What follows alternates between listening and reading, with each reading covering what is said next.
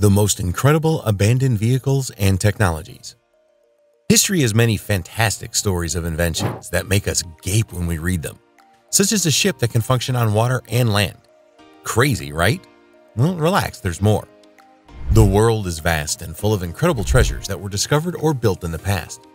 While some of these treasures passed the tests and made it to the top list of being useful, some failed, and their usage came to a standstill, thus creating only a memorable history for the future. During World War II, many troops were concerned for their safety. Because of this, they used the available tools they had on the ground to build vehicles that they felt would protect and keep them safe from all harm. However, years later, many of those vehicles were abandoned because they failed to serve the purpose they were created for. From the rusting hulks of Soviet era tanks left to rot in the middle of a forest to the decaying ghost town where the only signs of life are the wind whistling through the empty streets and the creaking of the old wooden buildings, here's the tale of the most incredible abandoned vehicles and technology. Number 9. Sea Devil K 278 Komsomolets. The Soviet Navy had several submarines referred to as Sea Devils, but one of the most well known examples is the K 278 Komsomolets. This nuclear powered attack submarine was capable of combat maneuvering from start to finish. But what do they say about bad things happening to good people? Well, K 278 wasn't a person in this case, but it sure had its share of woes. April 7, 1989, a fire broke out on board the submarine at a depth of around 1,000 meters, causing the crew to abandon the vessel.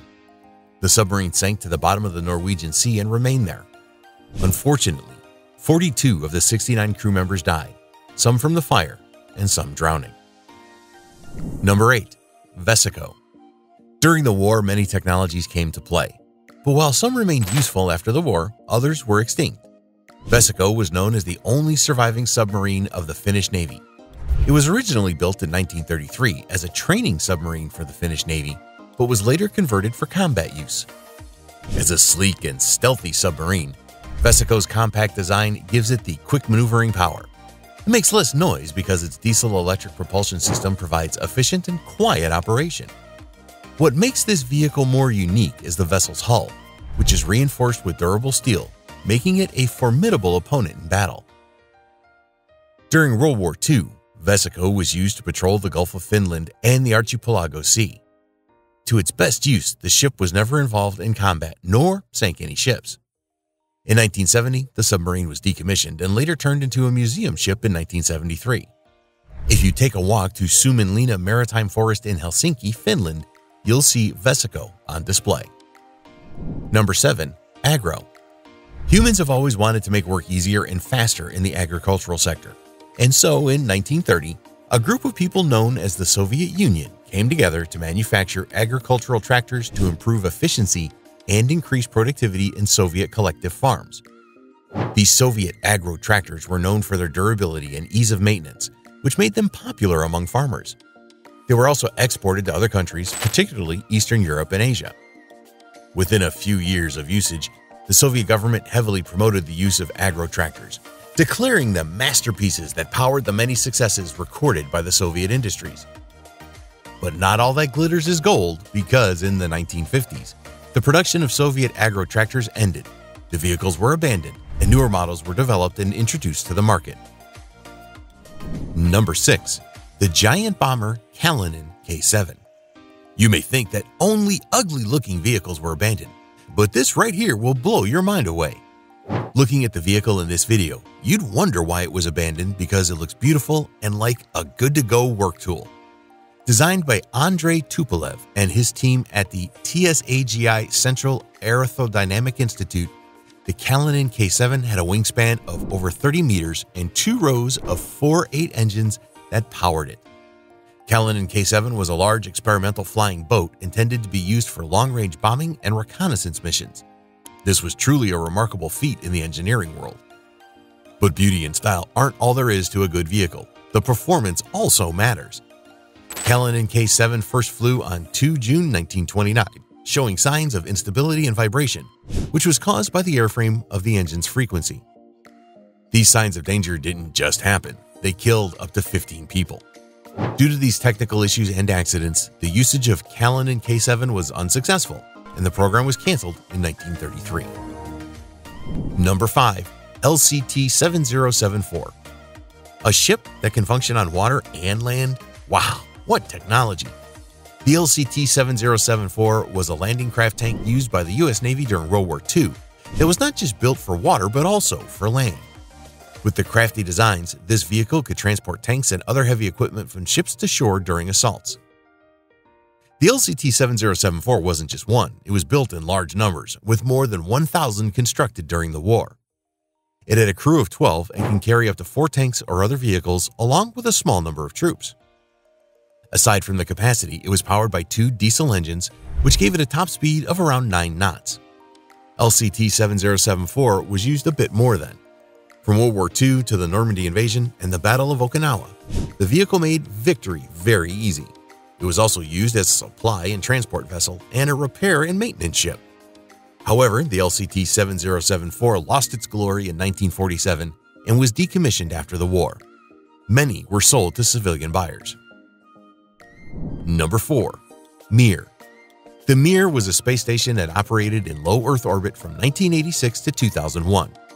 First, it was assembled in orbit by the Soviet Union and was the first modular space station to be constructed.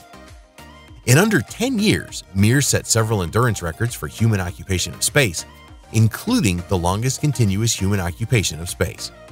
Cosmonauts and astronauts from many countries occupied this vehicle, and it was often visited by various spacecraft, including NASA's Space Shuttle. Following years of service and several near-death experiences, the vehicle station was intentionally deorbited and burned up in the Earth's atmosphere in 2001. Number 3.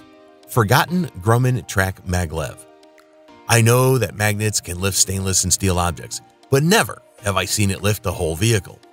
Just as I'm surprised, I know you are too. The Grumman Track Maglev developed by the Grumman Corporation in 1970, is a high-speed, ground-based transportation system that uses magnetic levitation technology to lift and propel vehicles. The vehicle system had superconducting magnets that made it easy to levitate the vehicle above a guideway and linear motors to propel it forward. This magnetic prowess also eliminated the need for wheels to reduce friction, allowing for very high speeds. While testing in a 2.4 kilometer test track in California, the developers discovered that this supermodel could reach speeds up to 311 miles per hour. Just as some good inventions don't make it to the top list, the Grumman Track Maglev was never commercialized because the developers didn't consider making the rail longer. As it stands abandoned, there are speculations that they may commercialize it soon, but till then, let's stay focused on the usable ones. Number 2. Object 760 Developing the heavy tank Object 760 during the Cold War was an ambitious blueprint in the history of the Soviet Union. Object 760 was designed to be a heavy breakthrough tank with a main armament of a 130mm S-70 naval gun. It was also known as the T-10M and the T-10M1 and directly responded to the US M103 heavy tank. Being fully equipped with advanced features such as hydropneumatic suspension system and a multi-fuel diesel engine added to its remarkable features for being land-based combat worthy. This super multitasker was also able to move smoothly on snowy terrains. Unlike a typical military vehicle, the Object 760 didn't carry any weapon, and the Soviet Union was not ready to add that either. No one knows why the Soviet Union scrapped it and moved on, but according to reports, the Soviet Union decided to focus on developing the T-64 tank instead. The prototype of Object 760 is currently on display at the Kubinka Tank Museum in Russia. Number 1. The unique and stylish Chrysler TV8. As cars were built with smaller and more fuel-efficient engines in the past time, one would have likely thought that the Chrysler TV8 was built on a modified Chrysler 300M platform and featured a V8 engine would have so much going on for it. But that wasn't the case here. The Chrysler TV8 also known as the Chrysler Thunderbolt, was a concept car developed by Chrysler in the early 2000s. The car was first shown at the 2000 North American International Auto Show in Detroit, Michigan, and was designed to showcase new technologies and design elements that the company was considering for future production vehicles. The TV8 featured a slick, aerodynamic design with a long hood, short deck, and a low-slung profile with the engine paired with an advanced all-wheel drive system, a heads-up display that projected important information, such as speed and navigation instructions on the windshield, allowing the driver to keep their eyes on the road, driver assist systems, Such features were too extraordinary for a car of that time. Despite its impressive design, the Chrysler TV8 tech-savvy car didn't breathe through the ice to survive. The concept car was only shown at auto shows and events, but its technologies and design elements were never implemented in a production vehicle. The only good thing about it is that it helped the company to showcase its technological capabilities and design expertise.